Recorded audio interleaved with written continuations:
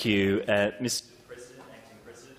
I rise in support of this bill on behalf of the Greens, and in so doing I recognise that, as is the case with all political parties, there are different views within the Greens on this matter. My predecessor here in this parliament, Mark Parnell, organised a forum of Greens members when this issue first came on the agenda. And I had the opportunity to talk with many members about this issue at that time, and indeed over the months and years when corflutes have been debated. It's very clear for me, to me that there is strong support for this change within the SA Greens membership. This has also been a strong campaign for the Greens interstate. In the ACT, for instance, the Greens have been campaigning strongly on this issue, and indeed the parliamentary inquiry into the ACT election has recommended banning corflutes from roadsides, a parliamentary inquiry that has involved representation from the Labor Party and the Greens and others. More importantly, there is strong support for this reform among the South Australian community. Most voters find these signs to be an eyesore and to be visual pollution, not to mention highly wasteful. There are a few exceptions, of course, Mr Acting President. I know my mum and dad will miss seeing my face on Stobie poles. I know the member for Kaurna, Mr Chris Picton, will be very disappointed as he has a growing collection of my corflutes dating back to our days together at Flinders University. I can assure him, of course, that these signs will still be available for his personal collection. They just won't be in the public realm. But he can still display my corflute on his private property or post it on his fan wall or whatever else he uh, wants to do, um, Mr. Acting, uh, Mr. Acting President. There's no prohibition on that.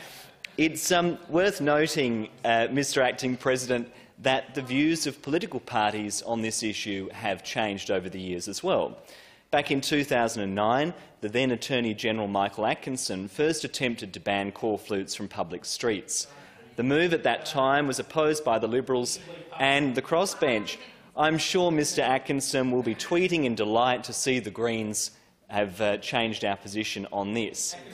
Both former Labor Minister Kate Ellis and former Liberal Minister Christopher Pyne have argued for corflutes to be banned.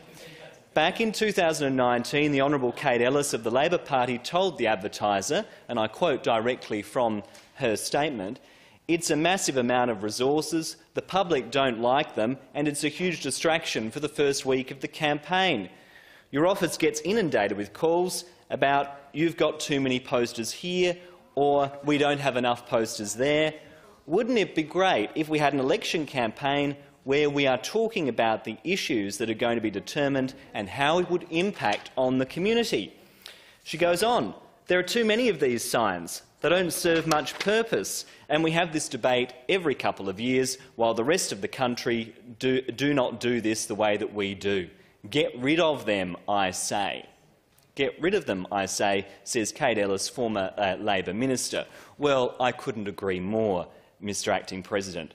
For my part, my views on corflutes have been on the public record for many years. As a city councillor, I advocated for corflutes to be banned for council elections. That move was opposed by the majority in Town Hall, but it did receive strong support from the local community. And I welcome the fact that this change was legislated as a part of the government's local government reforms. For me, Mr President, there are three very important considerations in this debate. The first, of course, is the impact that corflutes have on the environment. At a time when our state has taken bold and decisive action on single-use plastics, it seems absurd that the political class would be exempting ourselves from this through producing these costly and wasteful plastic signs, many of which will end up in landfill. And of course, not all political parties recycle their candidates uh, in the same way that I have been recycled, uh, Mr Acting President, so that can lead to increased waste. I do consider, um, uh, concede that you could legislate to use other materials less damaging on the environment, but there are also other issues for us to weigh up here. There's another fundamental consideration, and that is who owns the public realm. The public realm belongs to all South Australians. Intrusion onto the public realm, onto our public streets, are heavily regulated for this reason. The idea that these streets should be populated with election signage in this way is a form of visual pollution, and I think it offends that basic principle. Now, I've heard it said, Mr Acting President, that voters just won't realise there's an election on if there aren't corflutes on the streets. I just don't accept that argument. There are plenty of other ways that candidates and campaigners can engage with their electors. Signs really don't say anything about the policies or principles of a political party or a candidate. I mean no disrespect to anybody in this room, but really politics is hardly a beauty contest. A sea of smiling faces does nothing to advance the quality of political debate in our state. And of course, Mr President, under this bill, party members, supporters and volunteers can still display signs on their private property, as is the case in other jurisdictions around our country. So there will still be plenty of opportunities for people to get the message out without dominating our streets in this way. The final issue I want to touch on is equity. I've heard it argued, indeed the Leader of the Opposition uh, made this point, that somehow banning corflutes will damage smaller parties. I don't accept that argument. The current regime is an arms race. It means that all parties are required to invest huge amounts of money and people power into putting up these signs and finding the volunteers to distribute them.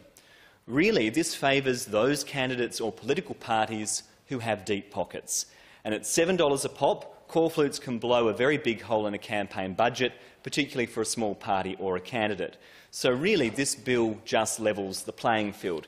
Now, I know the Leader of the Opposition has argued this would be the end of democracy as we know it in the, the state of South Australia. But the reality is, if the Labor Party feels so strongly about this, they can go into the next election and say, vote for the Labor Party and we will reverse this legislation. We're the Bring Back Corflutes political party. It's their uh, choice to do that. If they want to run as that, uh, having that as a key part of their platform at the next election, saying to the people of South Australia, we will bring back corflutes and reverse these changes, then they should do so and let the people of South Australia decide. I suspect, though, Mr Acting President, what they will find is that there is a huge amount of public support uh, for these changes and uh, that people will be very excited to see the parliament take action on this. In concluding, uh, Mr Acting President, the Greens have been in negotiation with the government and uh, I understand that some amendments will be moved in the committee stage. Uh, these have been alluded to by the Leader of the Opposition and I'll talk to those a bit later. But what those amendments do, I think, is provide certainty in terms of ensuring that people can have uh, signage at public rallies and events, street corner meetings and the like, um, and the amendments that the government will, uh, will talk to later will address those points. But I do hope, Mr Acting President, that this will be the last time that the parliament is required to debate this issue, and I think that the public would overwhelmingly welcome this parliament's action on the matter.